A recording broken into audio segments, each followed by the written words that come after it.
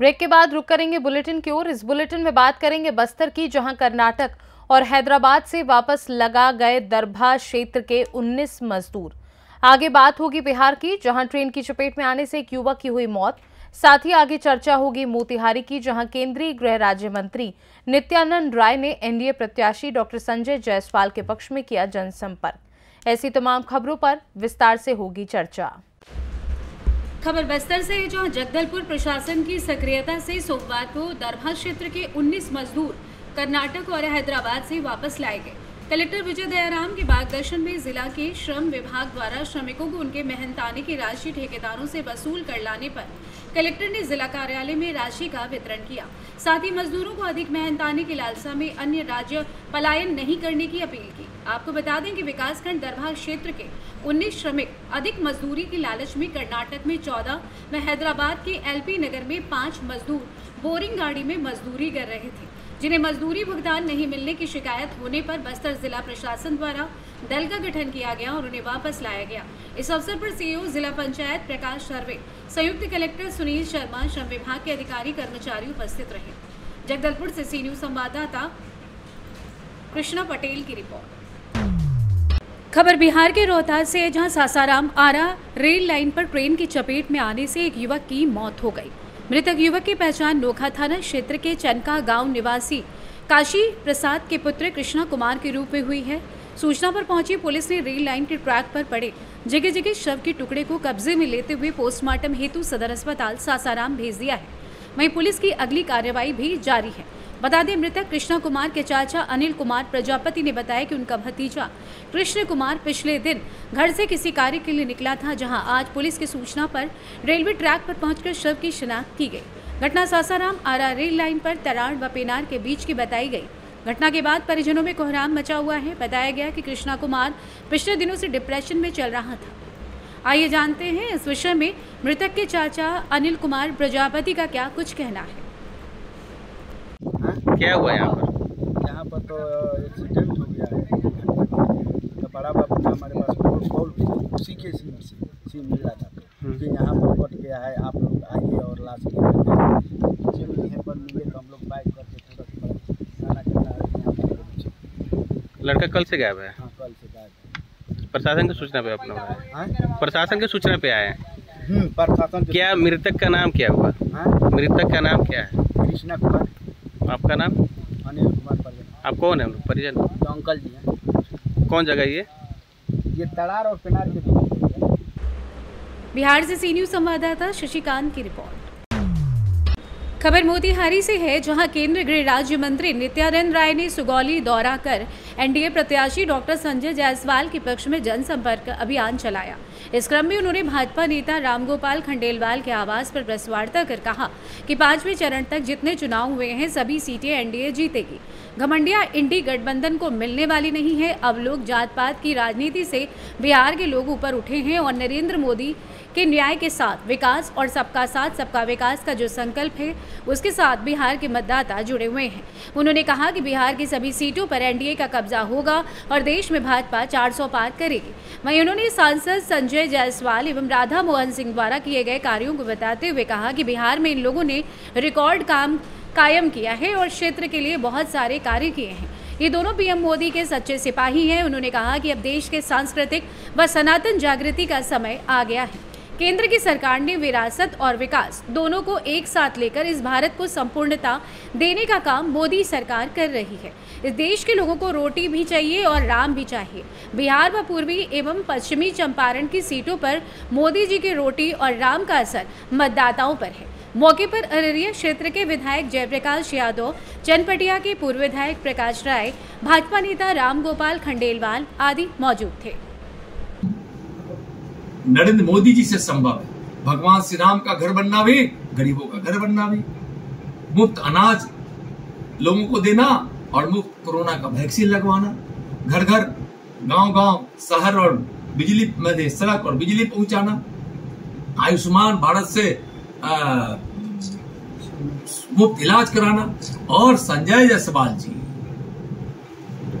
और राधा मोहन जी, दोनों तो बिहार में रिकॉर्ड काम किए हैं। दोनों ऐसे सांसद हैं जिन्होंने अपने अपने क्षेत्र में रेल का काम हो, चाहे पुल पुलिया का काम हो, चाहे केंद्र सरकार की बहुत सारी योजनाओं को लागू कराना हो, आयुष्मान कार्ड का हो, मुफ़्त अनाज दिलाने का हो, मुद्रा लोन देने का हो, प्रधानमंत्री सड़क योजना से लेकर ग्रामीण सड़क बनवाने का हो, एनएच बनवाने का हो, पेट्रोलियम विभाग से यहाँ काम कराने का हो, गैस कनेक्शन दिलाने का हो, और फ्लाईओवर बनाने का सारा काम डॉक्टर संजय जायसवाल जी और राधा मोहन जी कराए हैं। यह दोनों हमारे ऐसे प्रत्याशी है जो दोनों हमारे पूर्व अध्यक्ष रहे हैं। दोनों ने संगठन को भी विस्तार दिया है और अपने क्षेत्र को भी विकास में बनाया है। मोदी के सच्चे सिपाही है। यह दोनों सीट जब हम जीत कर जाएँगे, तब वहाँ हम 400 पार करेंगे और बिहार की 40 40 सीट यहाँ जीत, जो जीतने का संकल्प है, उसमें दोनों सीट यह जीतेंगे। बहुत बहुत धन्यवाद। मोतिहारी से सी न्यूज़ संवाददाता वीरेंद्र कुमार गुप्ता की रिपोर्ट। मुरादाबाद जनपद के कटघर थाना क्षेत्र स्थित गुलाबबाड़ी सरस्वती विद्या मंदिर में एक दिवसीय सत्संग का आयोजन किया गया, जिसमें प्रभु सतपुरुष बाबा फुल संडे वाले ने कहा कि एक तू सच्चा, तेरा नाम सच्चा, ईश्वर ने सबको एक समान बनाया है और हमें एक दूसरे का आदर सम्मान करने की भावना होनी चाहिए, एक दूसरे की पीड़ा समझना चाहिए।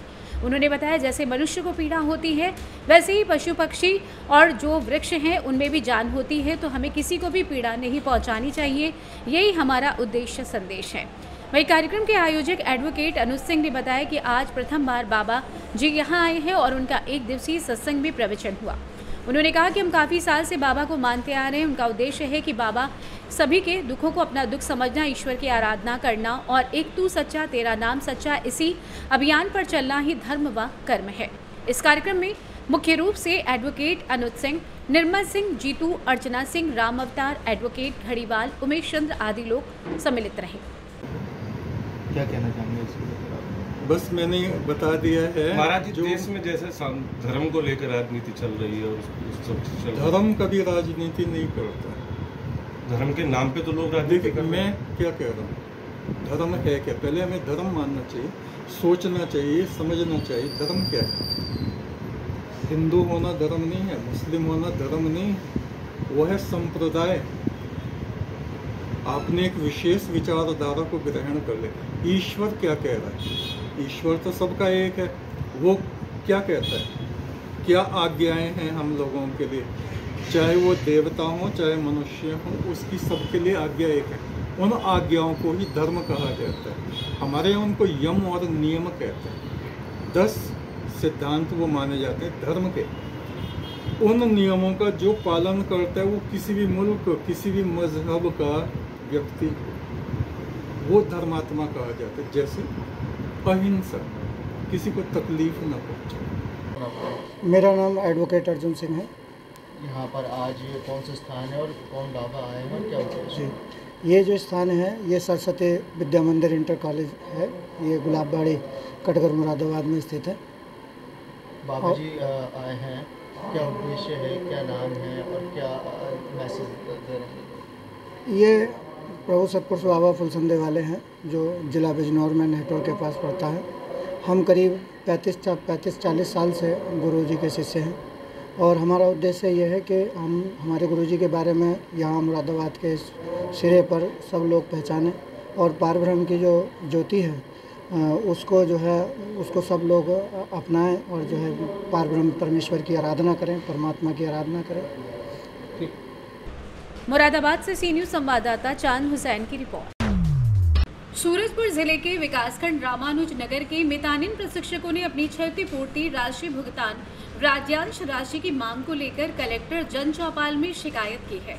आपको बता दें कि मितानिन प्रशिक्षक सुबह 11 बजे से शाम 4 बजे तक अपने कार्य क्षेत्र में कार्य करती रहती हैं, लेकिन उन्हें प्रतिदिन की मजदूरी भी समय पर नहीं मिल पाती।